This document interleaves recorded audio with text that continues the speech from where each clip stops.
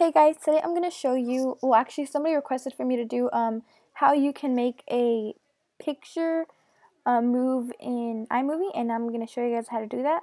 So, let's get started. Okay, so this is what it's going to look like and I'm just going to lower the volume to this.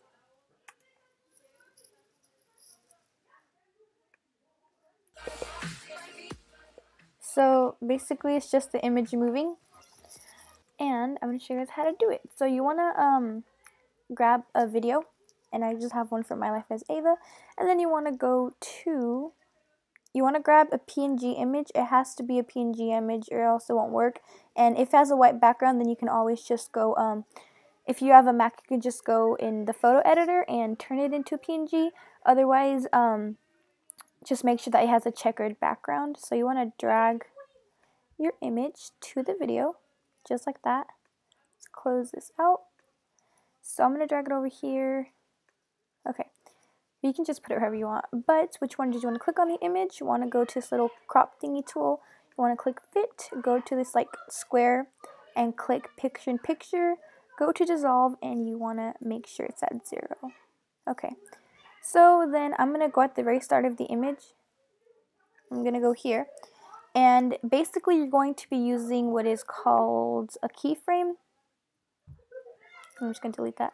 So you're going to be um, using what is called a keyframe, and this is where you're going to have all control of what you're doing. So um, I'm going to show you guys how to do it. Okay, so this is how I would do it. Um, if it was an image, I would just take it out of wherever it's at, and what you want to do is you want to make sure to click it. Okay, then you want to click the space bar and um, let it go for a little bit. So like this.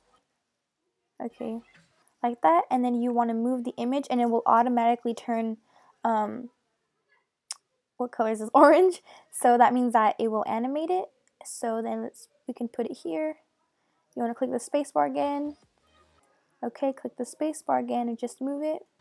Spacebar move it. Spacebar move it.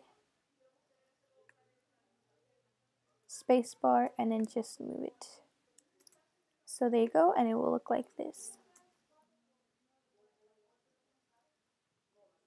Yeah, it's really easy. It's just all about spacebar. So the, I would say that the, the only time you make sure you click on the keyframe actual thing is when you very first start it. So move the image and then click it and then you won't have to um, click this anymore again. So basically only click it one time because when you automatically move it, it does it by itself. For example, if I move it, it's going to already click uh, make it orange.